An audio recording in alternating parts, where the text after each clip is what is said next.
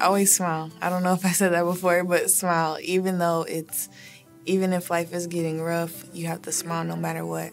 And be polite no matter what because you never know what anybody else is going through in life because someone else could be going through something way worse. Chelsea's enthusiastic about everything she does. She's enthusiastic about being Chelsea.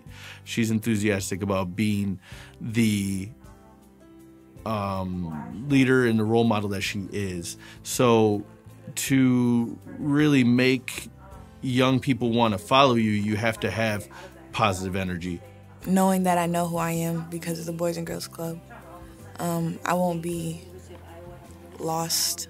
I know the things that I want to do and that's what else they taught me like don't do what you want to do in the future for anybody else other than yourself because no one else is going to live your life for you.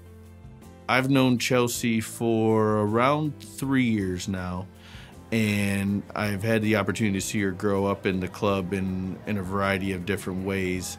Um, she not only talks about getting things done now, but she really hits the ground running and makes them happen through the force of her own will and personality. Um, that's something I've grown to really admire in her. At first, it was a struggle because I was kind of frustrated because, like, I didn't know how to express myself in the way that everyone was comfortable. But I ended up finding out that I really love writing poetry, and so after I started writing poetry, like a lot of people at school were like, "Could you listen to some of my poetry? Do you like this? Do you like that?" I'm like, "Yeah." I'm like, so I was just really proud of myself afterwards because, like, at first I was frustrated because I didn't know how to let out some of my, you know, emotions.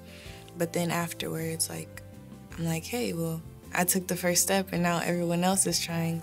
I think that Chelsea has always tried to position herself as a standout student.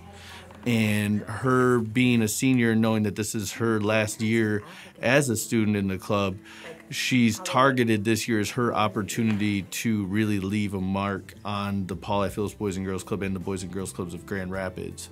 I just want to be someone that helps other people, or at least be someone to give someone advice so that they could help themselves.